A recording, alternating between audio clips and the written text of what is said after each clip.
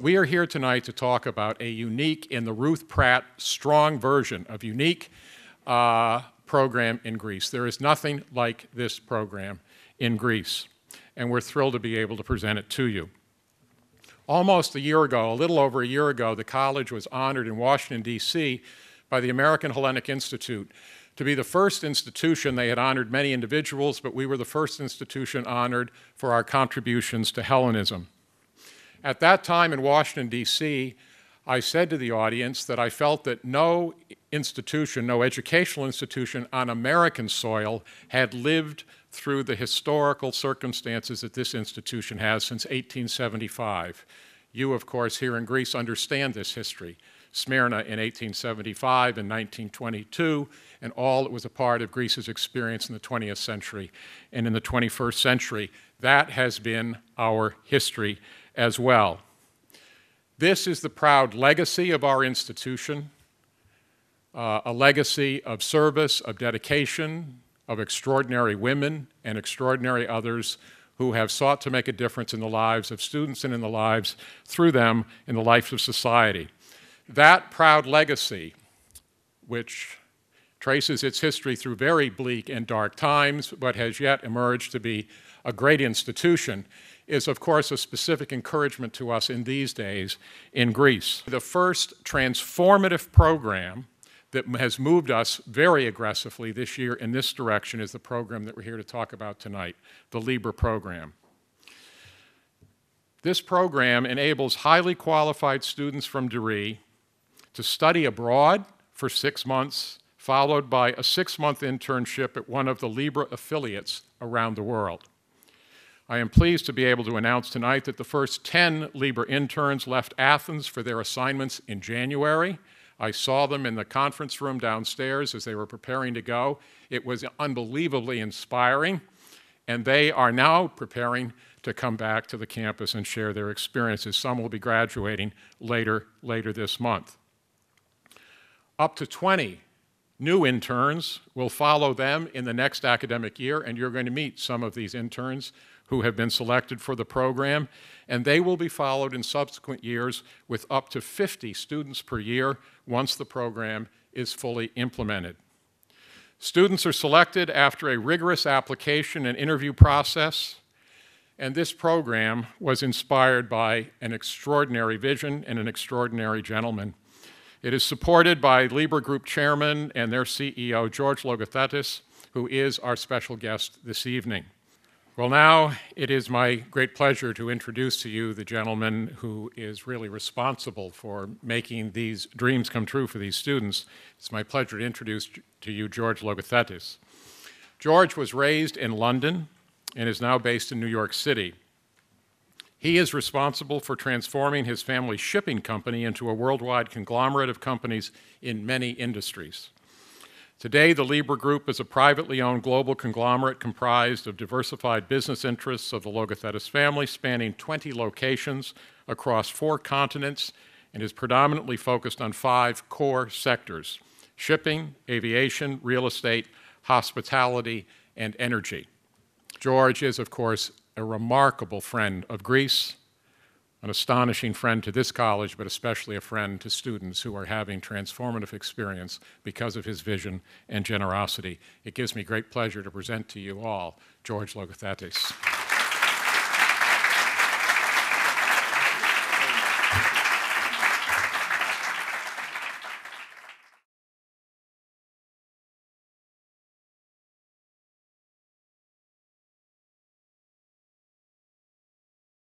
Wow. I think I want to be an intern after having seen that. it's great to be here, everyone. And um, I think I, am going to start off by explaining the roots of this program and how, where the inspiration came from. It's a story that's a wonderful story. It's a very Greek story.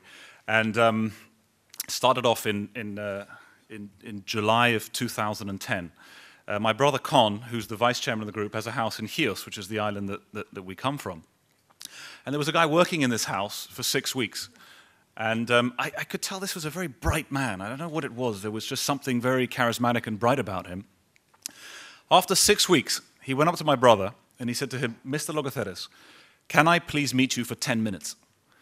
and my brother said, uh, his name is uh, Fanis Mirmingusis, by the way. And, and my brother said, uh, Fanny, of course, uh, no problem. Ella, come sit down, let's, let's have a meeting. And he said, Sorry, I can't meet now. I need 10 minutes. And my brother said, Okay, I'll wait for you. so Fanis went downstairs, he showered, he shaved, he put on a suit, he got his briefcase, and he came and met my brother. My brother, in his swimming trunks, you know, was, was a bit, a little bit taken aback. Um, and Fanis said the following to him. He said to him, Mr. Logothetis, I took this job for six weeks in order to meet you now for these 10 minutes. I studied in the United States. I'm an electrical engineer by training.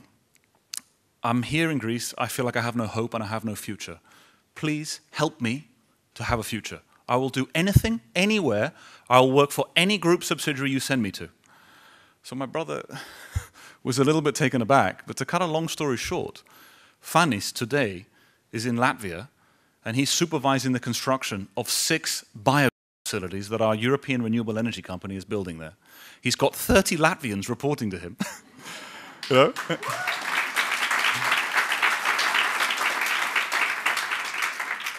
So when we heard, when you know when uh, we heard the Fanny story, um, and this obviously combined with the crisis that this country is going through now, we decided that we had to do something to help. And um, words are cheap.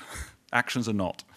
So what, what we decided to do was put this program together with ACG. I can only say that it's been the most professional experience. Uh, you know, every single person that we've come into contact with, and our people have come into contact with at, at, at, the American College, has been of the highest professionalism, character, decency, correctness. And this program is made possible by two, by us and, and, and by them. So I want to thank you and all the faculty and everyone that's been involved because. Uh, you know, it's just been wonderful. And seeing this, seeing all these interns now uh, talking, uh, you know, it's like cl close the first loop almost. So, you know, we have a crisis in this country. Uh, that's no secret. Um, and I think that, uh, again, I, I, grew, I, grew, up in London. I, I, live in New York now. But uh, my heart is Greek and my soul is Greek. The British accent, and there's a, a more American mentality, but the, the, roots are here. And I think everyone has a duty to help. Um, you know, we can complain and moan, and that's just a path to nowhere, actually. Um, helping is actually doing things, is actually actively helping. And the more you have, the higher the duty that exists to help, I believe. I remember when I was young, I, was very fortunate to be running our shipping business when I was very young. We had a couple of ships, and I was 19 years old when I was made the CEO. Very strange story. Um, but I remember very well all those that helped me and hindered me, because there were both. There was people in the middle that I can't remember. there were people that helped and hindered. And I said to myself when I was young, I said, um, I'm going to be one that helps when I'm older. And so this is part of the process of giving back that, um, that we, have, we have put together. It empowers people. Um, it's a very important word. You can't mature without being empowered. You can't grow up if you're not given responsibility. So seeing you know, the, these kids having been given responsibility, having grown up and having this life-changing experience is, is, is just wonderful to see. Um, I want to give a message to the interns, the class of 2013. You're going to be ambassadors um, for, for, for, me, for my family, for my brother, for my father, for Greece. You know, uh, when we were first setting up the Libra group, I would travel around the world and I'd meet people in, in Thailand and in Russia and in, in uh, South America, Panama. Everyone, but everyone I met, oh, you're Greek, fantastic. They all loved us. They don't anymore. you know, I, don't get that love. but, you know, it's being a good ambassador that changes people's perceptions, and you have a duty. You know, I hope you all work very hard. I hope you all really benefit from this, but don't forget the ambassadorial duty that you all that is bestowed on you ultimately. I want to talk a little bit about our group, and um, and, and, and what we really stand for. It's a family business, and that word family is not just a six letter word, it's a very important word for us. And, and we govern our group like that. It's, it's quite unique, and we, we, we're very proud of what we've built, but we're more proud of how we've built what we've built. Um, that's a very distinguishing element. Um, you know, one of, one of the interns, I won't say which one, but uh, one of the interns that I met on my travels, uh, he took me to one side uh, one, one day and he said to me, Mr. Logothetis, Thank you very much for showing me what is possible, not what is impossible. This is a statement that will stay in my mind for a long time, um, and, and, and it just felt so good. I think that, you know, if over a lifetime you, you give less than you take, sorry, let me get this right, you give more than you take, you know, it, it, gives happiness. If you take more than you give, it's a path to a vacuum and, and, and misery at the end of the day. You can never take enough. So give, you feel good about giving as well. Um, I want to sort of make one, uh, you know, talk a little bit about belief and perhaps the crisis that Greece is going through now. Um, there's no belief.